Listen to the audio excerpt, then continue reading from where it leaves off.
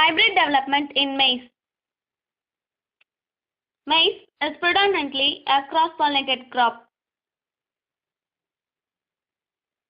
The different types of corn includes flour corn, popcorn, dent corn, flint corn, sweet corn, waxy corn, amylo maize, pod corn and stripped maize.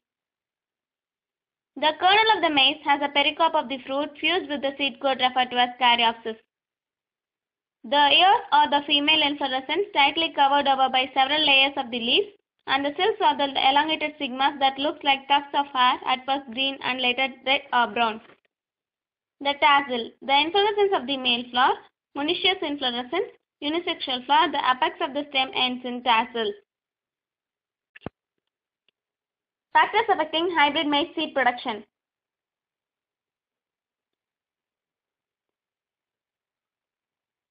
When maize is self-pollinated, it is referred to as inbreeding and after successive generation leads to a weakened plant called inbred line. When the two inbred lines are crossed, the vigor is restored in the resulting seed and the yield of the plant grown from the seed is greatly increased. This is called as hybrid. Developing a hybrid. Hybrid maize is produced by cross-pollinating two unrelated male and female plants of different inbred lines. The pollen from the female plant is eliminated usually by physically removing the tassel from the female plant before it sheds its pollen. The resulting seed on the female plant gives rise to a hybrid plant that are uniform in color, maturity and plant height.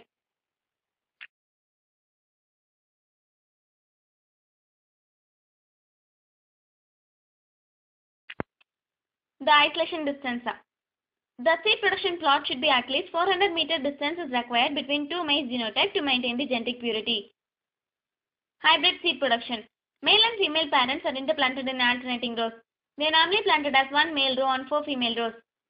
The female parents are detasseled before they shed pollen. The tassels are physically removed or mechanically. Only the seeds from the female plant gives rise to the hybrid seed. It is important that the male and female plants blossom at the same time. Roguing. It is the process of removal of the voluntary plant, off-type plant, other crop plant, pollen shedders and additional weed plant from the seed field before the crop comes to flowering. Male parent should be harvested first than the female parent. Shelling. Female parent should be done earlier than the male parent to avoid the mechanical mixtures. Shelling can be done manually by power-operated maize shellers or by manual rubbing. Mechanical mixtures. These can be avoided by taking due precautions during harvesting, seed setting, bagging and storage operations. Harvesting and post-harvest management.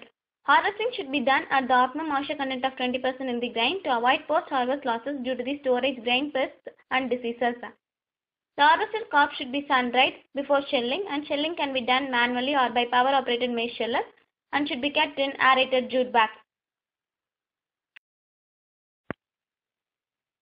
Maize sheller. This is the machine used to remove the corn's outer shell. Corn thresher. It can separate the corn from the corn body without breaking the corn cob. Combine harvester. It is a machine that harvests grain crops and also does threshing, reaping and winnowing. Forage harvester. Grow out test for genetic purity. 400 seeds were drawn by mixing and dividing method from the seed lot. Morphological observations by individual crops like plant length, ear length, number of rows of grain, color of grain, kernel row arrangement and kernel shape and compared with the standard crops. Calculating purity percentage. Genetic purity less than 95 percentage, the seed lot will be rejected. DNA fingerprinting. Steps involved. 400 seeds were drawn by mixing and dividing method. By roll towel method, seedlings were germinated. Leaf samples were drawn by 20 into 20 matrix bulk method. Hybrid purity testing. Reagents used.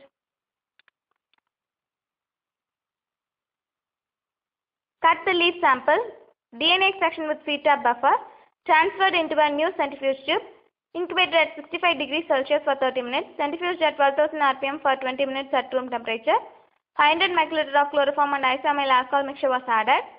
Centrifuged at 12,000 rpm for 20 minutes. Equal volume of ice cold isopropanol and 100 microliter of uh, sodium acetate was added and kept in freezer for DNA precipitation. The pellet was washed with 70% ethanol, dried, and 150 microliter of TE buffer was added and stored at 4 degrees Celsius. PCR amplification, PCR cocktail preparations.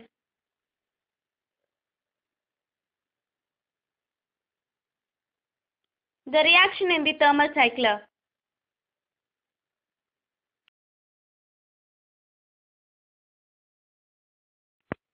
Agarose gel electrophoresis. Materials required. Loading dye 10 xTB buffer. Reagents used. 0.8% agarose was added to the 1 xTB buffer and boiled and cooled in the shaker and ethidium bromide stain was added. Casting tray.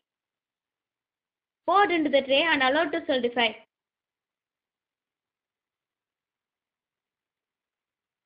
Comb and sellotapes were removed carefully after solidification of the agarose.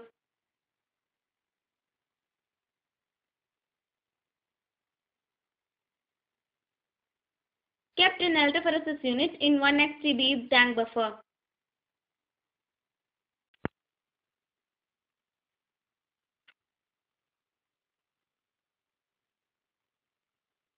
Loading the PCR products into the gel wells with the SSR marker.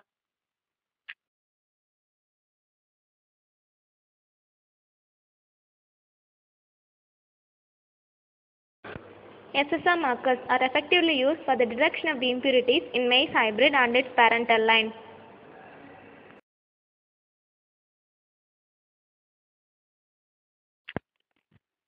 For detection of the impurities of the maize hybrid, DNA was isolated from the leaf bits of each column and rows of the matrix, bulked and total of 40 DNA bulks representing 20 rows and 20 columns were prepared.